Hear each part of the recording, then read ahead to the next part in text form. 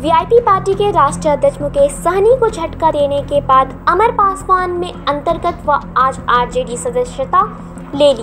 प्रदेश अध्यक्ष जगदानंद सिंह ने अमर पासवान को पार्टी की सदस्यता दिलवाई। माना जा रहा है कि बोचहा विधानसभा सीट पर होने वाले उपचुनाव को लेकर अमर पासवान आरजेडी के प्रत्याशी होंगे।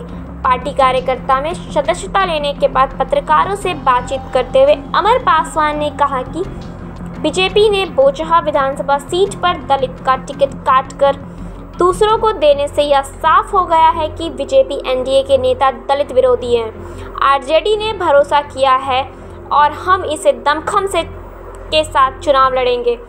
तेजस्वी यादव से भी बात हो गई है। लोगों की लड़ाई के बीच में आज एक दलित परिवार का एक टिकट काट दिया गया।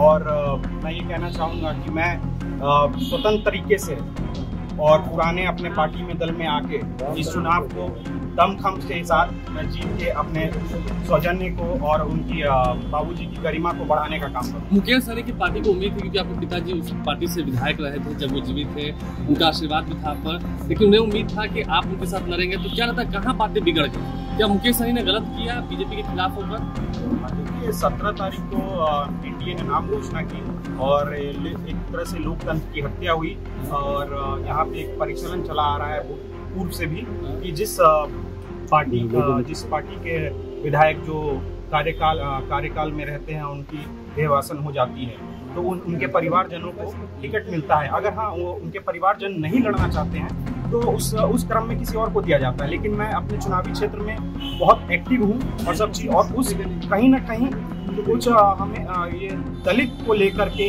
या फिर हमारे इस गरिमा को मुसाफिर पासवान जी की गरिमा को ठेस पहुंचाते हुए इन लोगों ने हमारा टिकट काटा है और मैं चुनाव क्षेत्र में बहुत ही सजग तरीके से चल रहा था। गलती किसकी है? बीजेपी की मुकेश सहनी की? यहाँ पे उन्होंने आपसी लड़ाई में हमारा ये